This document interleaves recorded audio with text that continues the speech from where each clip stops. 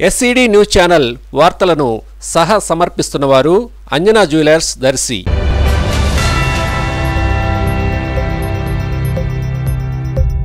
దళిత వ్యతిరేకి తోట త్రిమూర్తులు ఎమ్మెల్సీ పదవికి అనర్హుడు దళిత ప్రజా సంఘాల ఆందోళన.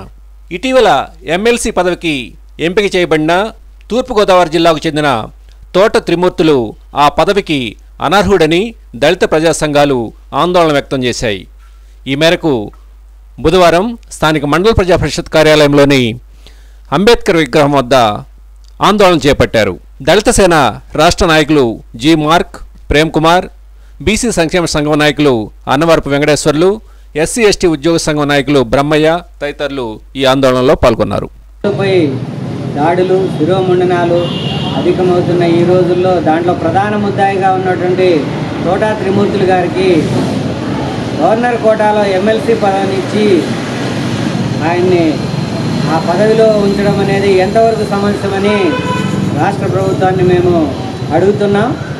దళితుల్ని పెద్దపీట వేస్తున్నాం అని చెప్పి చెప్తున్న ముఖ్యమంత్రి గారు దళితుల్ని అవమానిస్తున్నటువంటి తోటా త్రిమూర్తులు గారికి ఎమ్మెల్సీ పదవిని కట్టబెట్టడం ఎంతవరకు సమంజసమో ఒక్కసారి పునరాలోచించుకొని వారిని వెంటనే ఆ పదవి నుంచి బర్తరఫ్ చేసి ఆ కోటాలో ఇంకొకరికి ఎమ్మెల్సీ పదవి ఇవ్వాల్సిందిగా ప్రభుత్వాన్ని మేము డిమాండ్ చేస్తున్నాము.